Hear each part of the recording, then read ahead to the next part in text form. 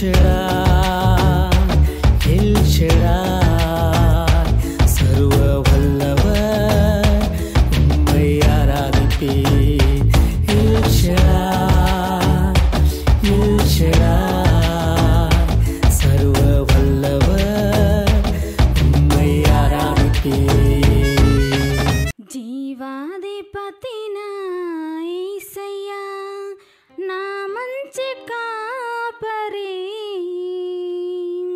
మరణపు ముళ్ళును విరిచిన నారాజు నాయసయ్యా. జీవాధిపతిన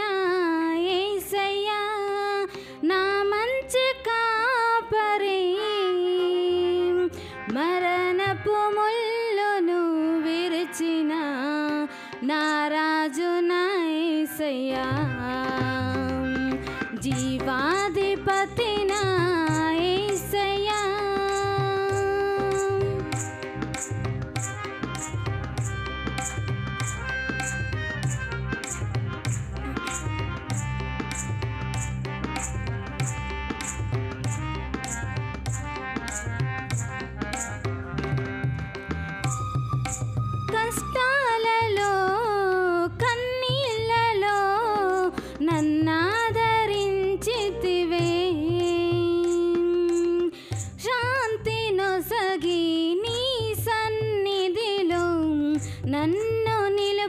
ఉంటే వేయి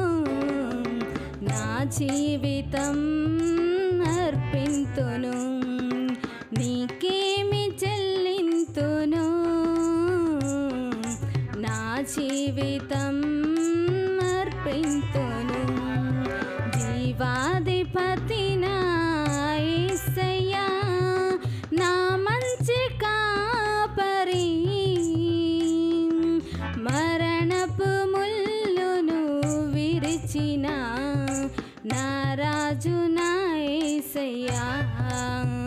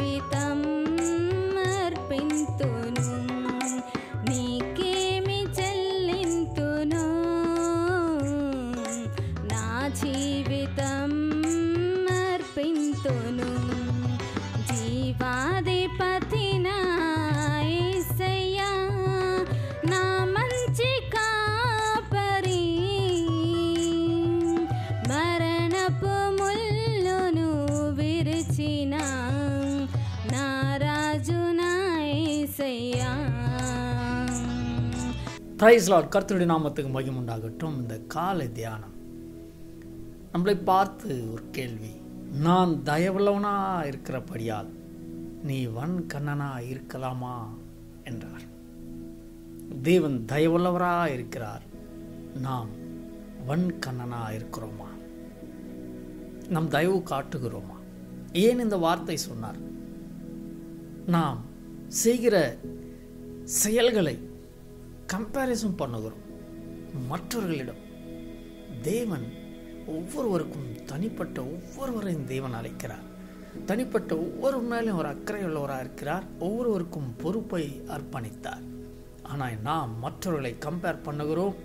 அதற்காக தான் நான் தயவுள்ளவனாக இருக்கிறபடியால் நீ வன்கண்ணனா இருக்கலாமா?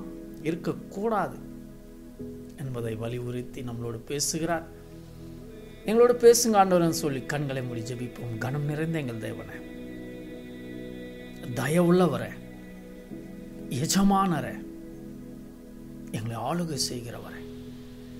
எங்களோடு பேசும் இயேசுவி நாமத்தினால் பிதாவை. ஆமாம் மற்ற இருபதில் நாம் பார்க்கும்போது பரலோக ராஜ்யம் வீட்டு எஜமானாகிய ஒரு மனுஷனுக்கு ஒப்பா இருக்கிறது. திராட்சை தோட்டத்திற்கு வேலையாட்களை அமர்த்த அதிகாலையில் புறப்பட்டாராம். ஒரு வீடு கட்டுறோன்னா அதுக்கு எத்தனையோ பேர் தேவை. Cement work electrical work plumbing work painting wood work tiles work பல விதமான வேலைகள் தேவைப்படுகிற ஆட்கள். ஆனால் அந்த வீட்டு எஜமான் ஒருவருடன் ஒப்பிடிக்கும் போது அந்த குறிப்பிட்ட ஒரு சிமெண்ட் ஒர்க் அந்த மேஸ்திரின்னா ஒரு இடம் இருக்கும். அந்த இடத்துல அதிகாலையில் வந்து அங்கே வெயிட் பண்ணுவாங்க. குறிப்பிட்ட நேரத்தில். வேலை எங்கே இருக்கோ அங்கே அவங்கள கொண்டு போக. அங்கே யார் வராங்களோ அவங்கள முதல்ல செலக்ட் பண்ணுவாங்க. அந்த குறிப்பிட்ட இடத்துல நிற்பாங்க இங்கேயும் இந்த எஜமான் அதிகாலையில் புறப்படுகிறார். எங்கள் குறிப்பிட்ட இடத்துல இருப்பாங்க. மறுபடியும் ஆறாம் மணி நேரத்தில் ஒன்பதாம் மணி வேலையில் என்ன பண்ணுறாரு மறுபடியும் கொஞ்சம் பேரை அந்த வேலைக்காக அழைக்கிறார். பதினோராம் மணி வேலையில் மறுபடியும் பன்னெண்டாம் மணி வேலையில். சும்மா நிற்கிற வேலை இல்லாமல் நிற்கிறாங்களே அவங்கள கூப்பிட்டு வேலைக்கு அனுப்புகிறார். ஏன் நீங்கள் பகல் முழுவதும் இங்கே சும்மா இருக்கிறீங்க? ஏன் சும்மா நிற்கிறீங்க என்று அவங்கள கேட்டு வாங்க திராட்சை தோட்டத்துக்கு வேலை செய்யுங்க. சொல்லி அவங்களுக்கு வேலை தருகிறார். கடைசியாக சயங்காலத்தில் திராட்சை தோற்றத்திற்கு எஜமானன் தன் காரியக்காரனை நோக்கி நீ வேலையாட்களை அழைத்து பிந்தி வந்தவர்களை தொடங்கி முந்தி வந்தவர்களுக்கு அவர்களுக்கு கூலி கொடு என்றார்.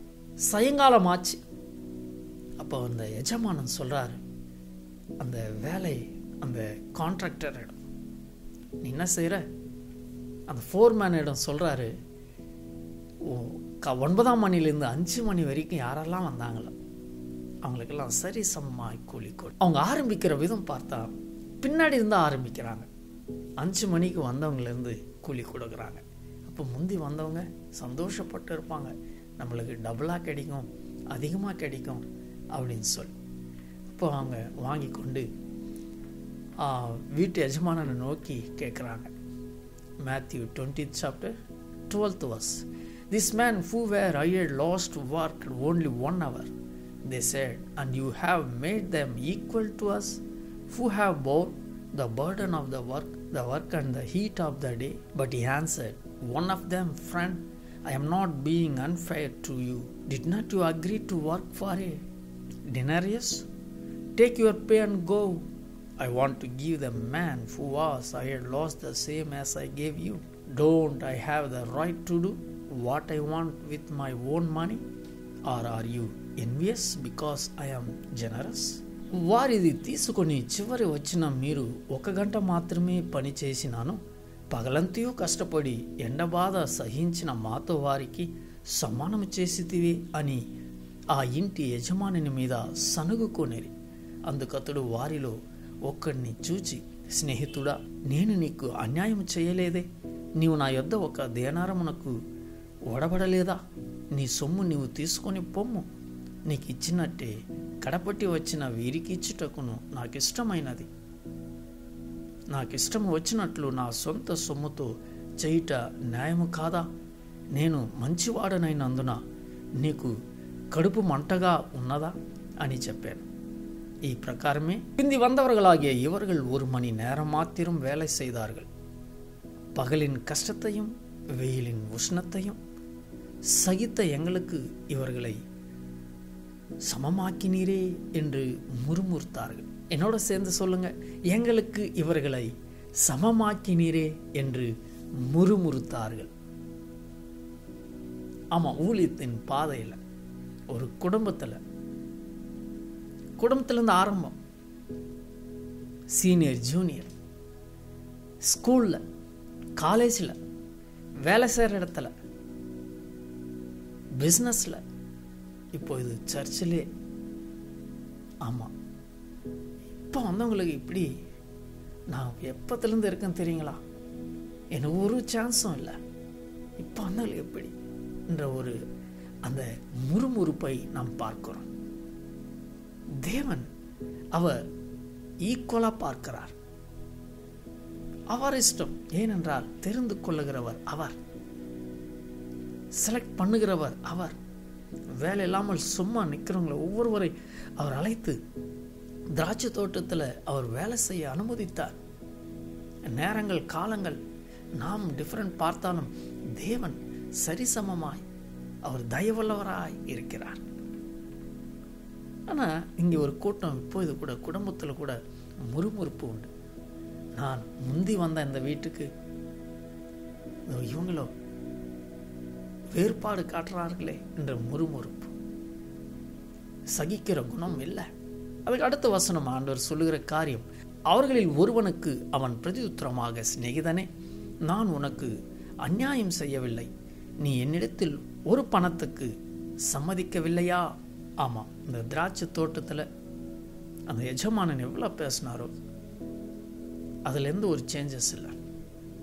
அவரை அவர் கொடுத்தார். அநியாயம் செய்யாத தேவன் அவர் நீதியுள்ளவர். ஒவ்வொருவருக்கும் நீதி செய்கிறவர் அவர். உனக்கும் தேவனுக்கும் உள்ளப்பட்ட அந்த உறவை உனக்கும் தேவனுக்கும் இருக்கிற அந்த தொடர்பை அது தேவன் நீதி செய்கிறார். நாம் மற்றவர்களை பார்த்து மற்றவர்களை கம்பேர் பண்ண அல்ல உனக்கும் தேவனுக்கும் இருக்கிற அந்த நீதியான காரியங்களை நம்ம தொடர்ந்து செய்ய நம்மளை நாம் அர்ப்பணிப்போம். அடுத்த வசனம் சொல்கிறது உன்னுடையதை நீ வாங்கி கொண்டு போ. உனக்கு கொடுத்தது போல பிந்தி வந்தவர்களாகிய உனக்கும் கொடுப்பது என்னுடைய இஷ்டம். இது தேவனுடைய இஷ்டமாக இருக்கிறது. அதில் யாரும் சஜஷனும் ரெக்கமெண்டும் எதுவுமே அங்கே வேலைக்காவாது அவர் இரக்கம் உள்ளவர். தேர்ந்தெடுத்த ஜனங்களை அவர் உன்னையும் என்னையும் தேர்ந்தெடுத்து இருக்கிறார். அது அவருடைய இஷ்டமாக இருக்கிறது. என்னுடையதை என் இஷ்டப்படி செய்ய எனக்கு அதிகாரம் இல்லையா நான் தயவுள்ளவனாக இருக்கிறபடியால் நீ வன்கண்ணனா இருக்கலாமா? என்றார். தேவன் நம்மளை மன்னிக்கிறார். தேவன் நமக்கு சகாயம் செய்கிறார். தேவன் நம்மளை வழிநடத்துகிறார். தேவன் நம்மளை ஊழியத்தில் வல்லவராக இருக்கிறார் ஆனால் நாம் மற்றவர்களுக்கு நாம் எப்படி இருக்கிறோம்? தய காட்டுகிறோமா வன்கண்ணனாக நம்ம இருக்கிறோமா? துர் சிந்தனை உள்ளவர்களாக நாம் இருக்கிறோம்? உன்னிடம் தேவன் காட்டுவது அன்பு நாம் மற்றவர்கள் காட்டுவதோ பொல்லாப்பு.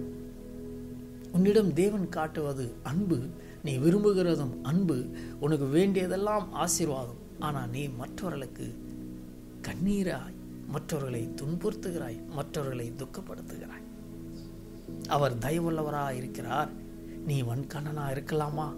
நீயும் தயவுள்ளவனாக இரு. என்பதை இந்த கால வேளையில் நம்மளோடு பேசுகிறார்.